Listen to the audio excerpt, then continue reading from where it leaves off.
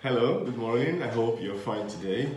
Um, today, I'd like to talk to you about this very, very famous statement of Jesus where he says, Give unto Caesar what belongs to Caesar, and to God what belongs to God.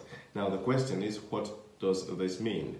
Um, this, this, this reference, this statement is taken from the Gospel of St. Mark, chapter 12, from verses 13 to 17. So, what was happening here is that the enemies of Jesus had gathered together and they came to meet Jesus and asked him, holding a coin in their hand, and they asked him, Should we pay taxes to Caesar or not?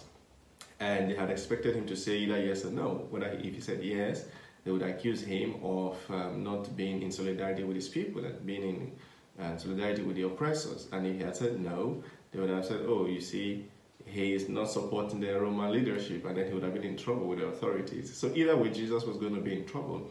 And Jesus answered them, whose uh, effigy, whose image is in the is on the coin. And then they said, Well, it's the image of Caesar. And he said, Yeah, give to Caesar what belongs to Caesar, and to God what belongs to God.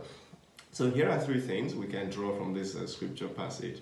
The first one is that never answer a complex question with a simple yes or no. Never answer a complex question with a simple yes or no. That's because complex questions require deep thinking and deeper answers. So when someone comes to you with a question that's loaded, a question that's complex, take your time to breathe, to think, and to respond. Breathe, think, and respond. So never say yes or no to a complex question. The second thing is that um, there is a place for Caesar in our society. There has to be a place for Caesar in our society. Caesar, of course, stands for taxes. Caesar stands for the state. Caesar stands for our socio-economic lives. Caesar stands for everything that is not within the domain of the spiritual. You see, I like to say this particularly for our friends in Africa, for my brothers and sisters in Nigeria. It's very, very important to leave Caesar his place. Look, we cannot tithe or pray our way to socioeconomic development. We have to go out and vote. We have to hold our leaders accountable. We have to pay our taxes. We have to do good business. Listen, we cannot hope to pray and then God will come and solve all of our problems for us. Instead of building um, more churches, we should think also of building more schools. Instead of building bigger churches, we, should, we should also think of building bigger industries because there has to be a place for Caesar. God has, the heaven is God's throne and the earth he has given to men. God has given us a place and we have to play our parts. Our part. So it's important this morning to remind ourselves again that there has to be a place for Caesar. There has to be a socio-economic, political, human domain where we take responsibility for our destiny. The third and final thing I'd like to say is that there has to also be a place for God.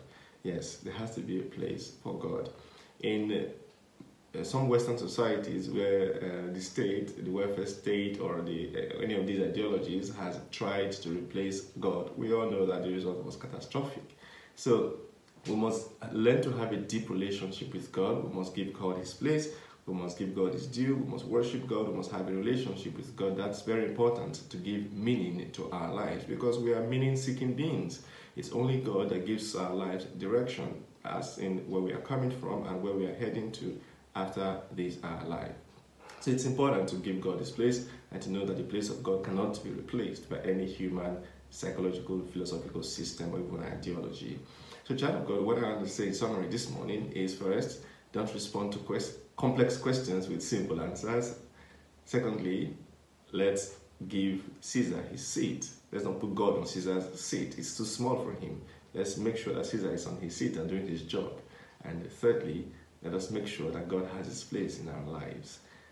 This is the only way we're going to be able to create a new heaven and a new earth after this COVID 19, as St. Peter tells us in the second letter this morning, chapter 3, from verses 12 to 18. What we're waiting for is a new heaven and a new earth, a place where righteousness will be at home.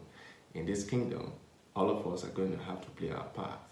I pray this morning that God will bless us, He will fill our hearts with His goodness and give us true reasons to be joyful all through the rest of the day. The Almighty God bless you. He who is Father, Son, and the Holy Spirit. Amen.